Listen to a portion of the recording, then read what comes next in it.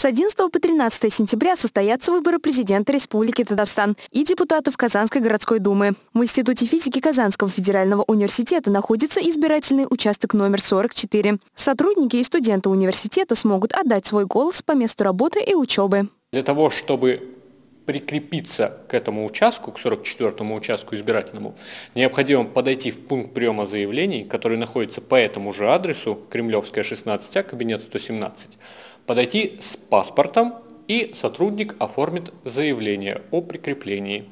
А, это можно сделать в срок до 10 сентября.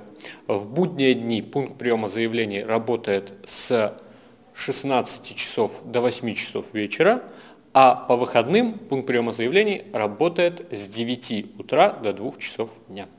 Заявление для голосования на избирательном участке номер 44 можно также подать через портал государственных и муниципальных услуг Республики Татарстан. С 11 и по 12 сентября будут проходить выборы и в Казанскую Думу, и президента Республики Татарстан. Это что касается выборов до дня голосования.